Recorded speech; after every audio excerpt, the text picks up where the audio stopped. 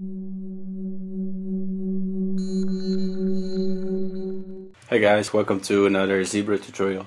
Uh, this week I want to do something a little bit different um, because I want to show you something about the wave window. Um, well actually I'm, I'm gonna explain this wave window more in depth next week but um, what I want to say for now is I think you already this but you can load waves uh, in this window right here. You can click on this name here window and I can choose uh, different oscillator settings and I can choose from the uh, factory oscillators and I have a few different options right here and it also changes um, the waveform as you can see. And if I make a change in a waveform for example I'll do this. Now to save it I can right click here. I can choose save oscillator 1 settings sine tree edit. Um, so that's how to save uh, oscillator and waveforms. And um, I found some cool waves on the interwebs. And um, you can download those and use them in uh, inside Zebra. So I want to show you uh, that this week. And then next week we can talk about um, how to edit uh, waveforms and stuff like that. So if we go to the browser we can hit paste and you get this window and I'm gonna give you the link of course. Um, but this is the website adventurekid uh, dot punt is Dutch sorry dot se um, well I'm not gonna read the whole link. I'll put it in the, in the description.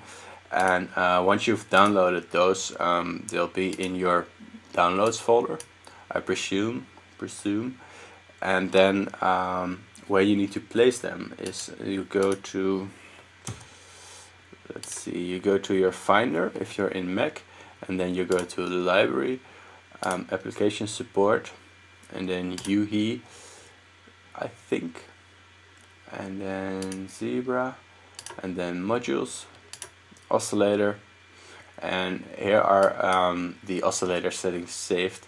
So um, I've made it my own folder here and then I've made a new folder there um, with downloaded waveforms and this is where I um, where I place the waveforms. So that's um, what was it? Application library application support UHE zebra modules and um, there you can uh, place the download waveforms. And now when I go over here I can see those folders here and I have all these new fresh waveforms. And you can see that if I scroll through them there are some pretty interesting waveforms in there. Like this one looks cool.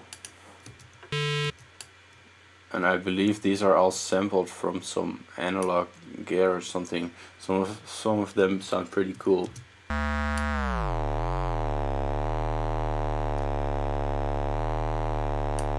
So now you can make your edits here and then um, resave them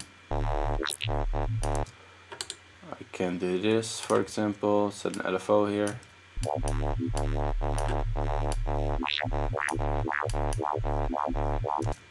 Now I can right click save oscillator 1 settings and I'll say your edit.